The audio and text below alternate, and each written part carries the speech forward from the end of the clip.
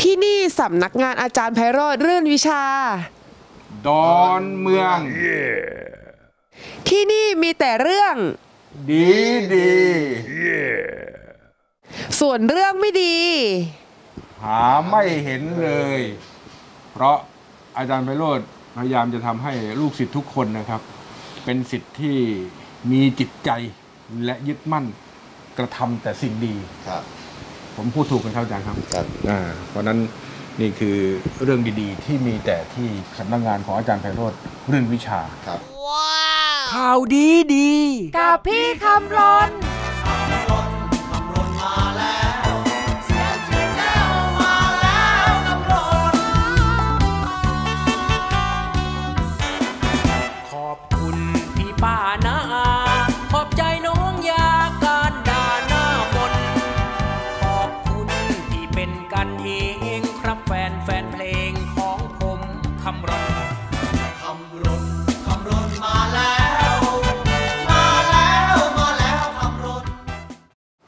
วันนี้มีโอกาสกลับมาหาอาจารย์ไพโรธเรื่องวิชาอีกครั้งหนึ่งนะครับ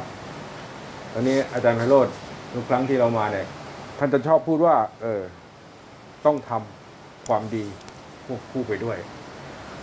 แต่สังคมในปัจจุบันนะครับ เรามองถึงสื่อที่เขาสื่อออกมา หรือเราพบเห็นเองเนี่ย มันเต็มไปด้วยสิ่งเลวร้ายมากเหลือเกินนั้นภาวะในจิตใจของคนอาจจะตกต่ำ ตกต่ำย่ำแย่ลงไปจะด้วยภาวะอะไรก็ตามแต่ความบีบคั้นความดิ้นรนต่อสู้การทำมาหากิน การแย่งชิง ทุกสถานที่ไม่ว่าถนนหนทางร้านอาหารนะครับ ที่อยู่อาศัยทำให้จิตใจคนผันแปร เราเป็นเมืองพุทธเราอยู่ในพุทธศาสนา ซึ่งเป็นสังคมแห่งการแบ่งปันและกันเอื้อเฟื้อเผื่อแผ่แล้วก็ย้อนไปจากนี้สักสามสี่ห้าสิบปี สังคมไทยดูสงบมาก แต่ถามว่าเรื่องการฆ่ากันนั้นมีไหมมันมีอยู่แล้วนะครับ แต่ว่ามันน้อย ปัจจุบันอาจจะเป็นไปได้ด้วยว่าสื่อขายข่าวด้วย และสร้างเรื่องนี้ขึ้นมาเรื่อยๆก็ทำให้ สิ่งที่สะท้อนอยู่ในจิตใจของคนเนี่ย มันถูกเอ่อตีกลับออกมาว่าเป็นเรื่องที่เลวร้าย อยากให้อาจารย์ไพโรธเรื่องวิชานะฮะครับอาจารย์ท่านอยู่กับ ตรงเนี้ยแล้วทำสิ่งที่เป็นที่ยึดเหนี่ยวใจคน แล้วอาจารย์พูดว่าขอให้เขาทำดี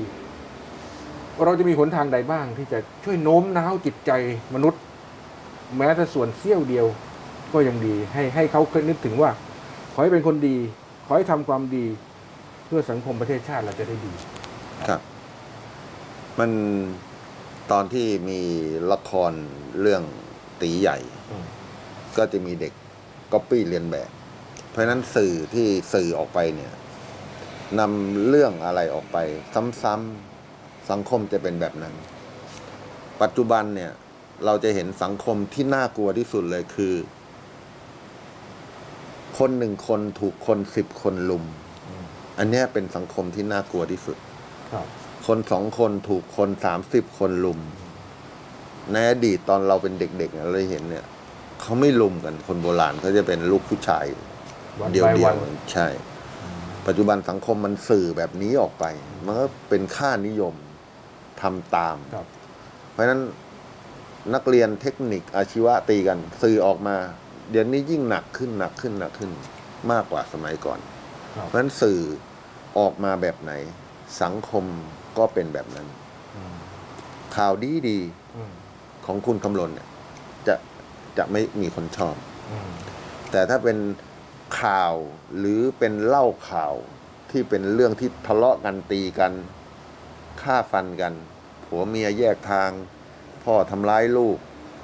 อะไรแบบเนี้ยครับจะได้รับการเขาเรียกอะไร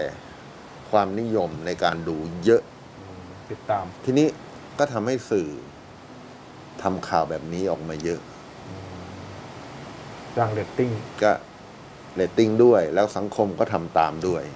เหมือนกับละครเรื่องตี๋ใหญ่ ถ้ามีละครเรื่องตี๋ใหญ่ปุ๊บก็จะมีใส่แว่นเลแบนออกปล้นกัน หลังจากละครจบอินครับจากหนังจากละคร แล้วปัจจุบันคนก็อินจากข่าว บางคนเนี่ยดูข่าวจนเครียด ไม่กล้าออกจากบ้านติอยู่บ้านใส่แมสห้าอันเพราะอะไรเพราะเสพข่าวทำตาม กลัวกลัวเลยกลัวมากทีนี้สื่อทำข่าวอะไรออกไปฆ่าฟันแทงยิง ป้ามข่มขืน ยาเสพติด มูลค่า โอ้โห ทูตโชว์ด้วยพันล้านห้าร้อยล้าน ก็เลยทำให้สังคมเป็นแบบสื่อที่เสนอออกมาอ๋อแล้วทีนี้เราจะพูดสกิดหรือว่าเตือนใจผู้คนได้ยังไงบ้างนะว่า ไอ้นั้นมันเป็นเป็นภาพก็จริงอยู่ แต่ว่าอย่าได้ไปหลงไหลได้ปลื้มหรือไป ทำในสิ่งที่จะทำความเลวร้ายให้กับสังคมมากขึ้น ก็ต้องให้สื่อช่วยกัน สื่อข่าวที่ดีเนี่ย ออกมาให้มากกว่านี้ ข่าวที่ไม่ดีเนี่ย ที่เป็นภาพติดตา นักเรียนลุมเด็กอย่างเงี้ย ก็ต้องภาพเบลอร์หรือเป็นเป็นแค่เป็นเสียงข่าวอย่างเดียวไม่มีภาพ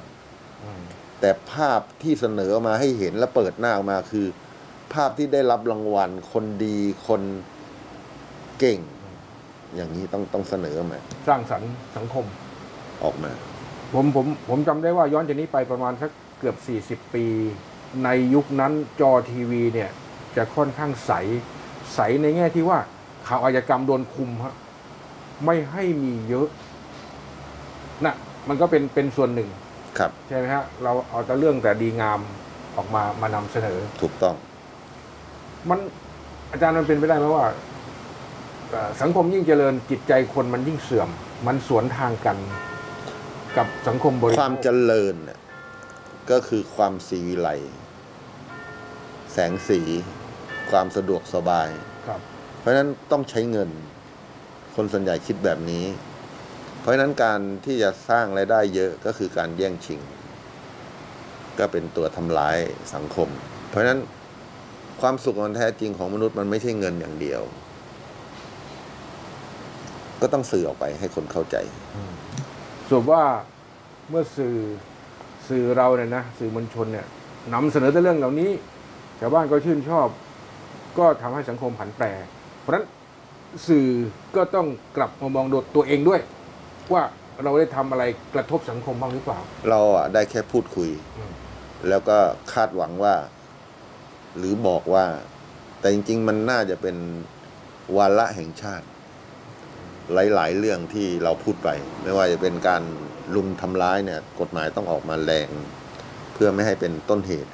เรานึกถึงลูกหลานเราถูกคนยี่สิบคนลุมหนึ่งคนเรารู้สึกยังไงล้มลงไปนอนฟ้ำหน้ายังกระทืบซ้ำนั่งอยู่เตะปากหงายหลังกระทืบซ้ำอย่างเงี้ย แล้วคนยี่สิบคนลุมคนคนเดียวหรือคนสองคน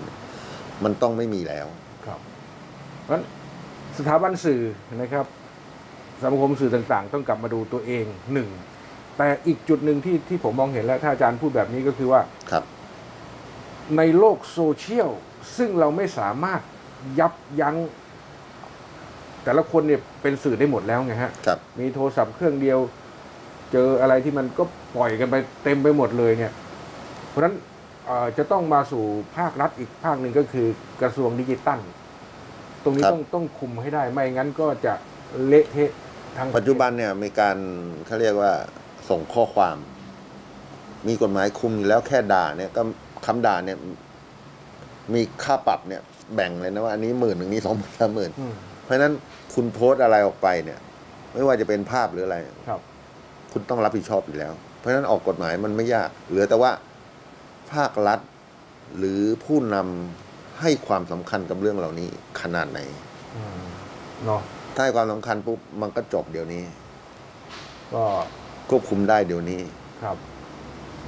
ก็เรายังเห็นภาครัฐพูดจะฮะเนี่ยนะ Oh no ไม่ได้ว่าไม่รู้ไม่ได้ว่าเปล่านะพูดเล่นนะเดี๋ยวเข้าตัว เพราะเพราะฉะนั้นหนึ่งสองสาม คนจะมาแก้ไม่ได้ ต้องทั้งองค์กร ทั้งองค์รวมทั้งหมดนะต้องมาอาจจะคิดว่าต้องหันมามองและสังขยนาสังขยนากันใหม่ เพื่อให้ให้สังคมมันดูใสสว่างสะอาดหน่อย มันถูกต้องถูกแก้เยอะเลย มันไม่ใช่แก้น้อยๆเลยสังคมไทยปัจจุบันหลายเรื่องเนาะครับไม่ในจอเต็มไปด้วย เลือดคนตาย ความเลวร้าย ความเลวร้ายในครอบครัวที่ทำร้ายกันเองในในหมู่ญาติ ลูกเต้าพอเลี้ยงอ่าใช่ไหคุมณบครูครับเนาะครับขณะที่ที่เรามีศาสนาดีๆนะครับเอ่อปกแผ่จิตใจเราเนี่ย แต่ว่ามันเอาไม่อยู่ เป็นเป็นเรื่องที่น่าน่าน่าห่วงนะอาจารย์นะ มากอืม ไม่รู้จะทำไงอืมไม่รู้จะทำไง ตอนนี้ก็คืออาศัยสื่อครับให้ช่วยแล้วลดข่าวที่อ่ามีความรุนแรงกระทบโดยไม่ให้เห็นภาพอืมในต่างชาติเนี่ยก็เป็นภาพการ์ตูนหมดแล้วอืมเป็นภาพภาพเขียนนั่นไงภาพกราฟิกหมดแล้ว ครับ นั่นไงของผมถึงได้ทำข่าวดีๆมาไงอาจารย์ ครับ มันมันถึงไม่ค่อยมีคนดูนะเพราะมันไม่เลวร้ายพยายามให้สังคมนี้เห็นเรื่องดีๆหน่อย มันมีแต่เรื่องเลวร้ายฆ่ากันตายทะเลาะเบาะแวงนะเพราะฉะนั้นรายการเนี่ยอ๋อถ้าจะให้ดังอะนะอืมต้องแฉอืมโหนอืมเอออย่างเงี้ยอืมใช่ไหมมันถึงจะดังอันนี้ไม่ไม่ได้เนี่ยข่าวดีดี กับพี่กำลนใช่ไหมเอาเอาละแต่ว่าไอ้ข่าวดีๆตัวเนี้ย เอ่อก็ผมจะทำให้เป็นตัวเริ่มนะตัวครับเริ่มแล้วก็เรียกร้องหลาย ๆ ฝ่ายเข้ามาจับมือกันครับนะเพราะว่าปัจจุบันนี้เราก็มีองค์กรสื่อสร้างสรรค์ครับแต่ว่ามันมันน้อยกว่าลำความเลวร้ายรอบๆที่มันเกิดขึ้นก็ภาพสำคัญเนาะภาพที่โชว์ออกไปสื่อสายตาของท่านผู้ชมเนี่ยอืม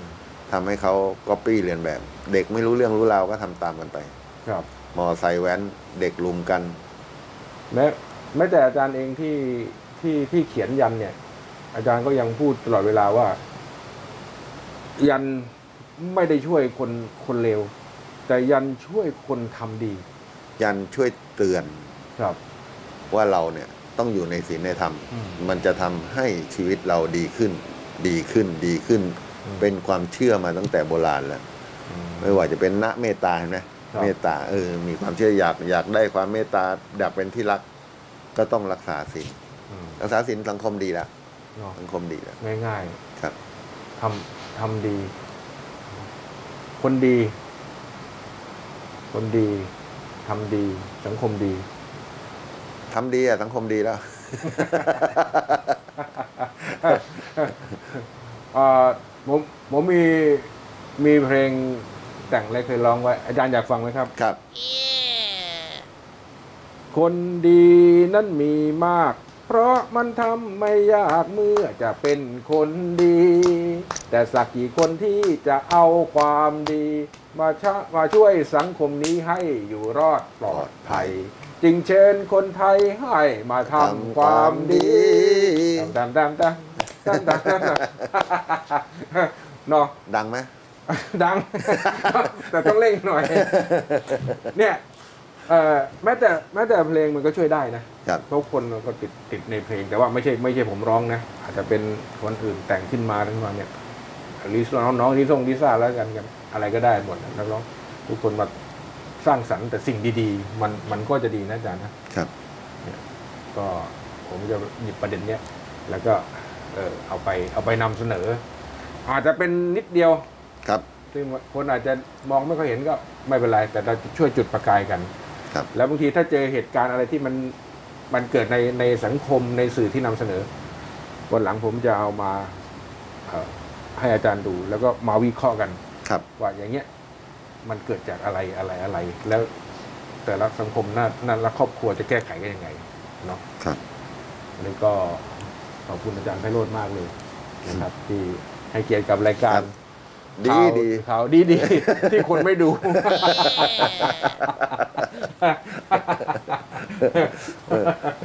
ลมลนหวังหวังสีข่าวดีดีสาธุขอบคุณครับโชคดีปีใหม่ทุกท่านครับใช่ครับครับปีเสือปีนี้จะเป็นแต่ เสือดีดี มีเมตตา มีเมตเมตตาตา ข่าวดีดี กับพี่คำรน